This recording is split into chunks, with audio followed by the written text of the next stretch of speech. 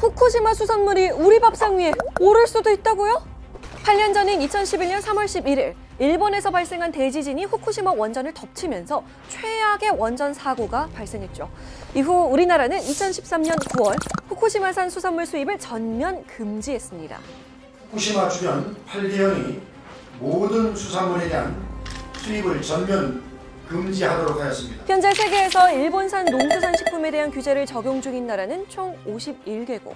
하지만 2015년 일본은 세계 무역기구인 WTO에 유일하게 한국에 대해서만 소송을 제기합니다.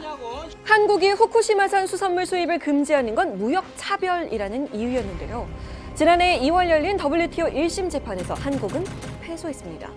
한국은 두 달 뒤 WTO에 상소를 제기했고요. 바로 내일 최종 결과가 나와요.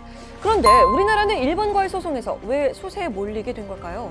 WTO는 지난 1심에서 한국 측 조치에 과학적 근거가 부족하고 이후 원전 사고 관련 조사도 제대로 안 한 것이 SPS 협정에 위배된다고 판단했습니다. 실제로 지난 2014년 12월 우리 정부는 일본 방사능 안전관리 민간전문위원회를 꾸려서 일본 현지 조사에 나섰지만 조사는 겉핥기에 그쳤어요. 심층수나 해저 토양 조사는 하지도 않고 당사국인 일본 측이 제공한 수산물 7건만 조사한 거죠. 심지어 일본이 WTO에 소송을 제기한 이후 활동 6개월 만에 갑자기 조사를 중단하고 최종 보고서도 만들지 않았습니다. 수입 금지를 뒷받침할 증거를 제시해야 하는데 조사단이 활동을 중단하면서 일본이 제시하는 수치에 의존할 수밖에 없게 된 겁니다. 정부의 소극적인 대응으로 이미 1심 패소라는 결과를 맞이한 한국.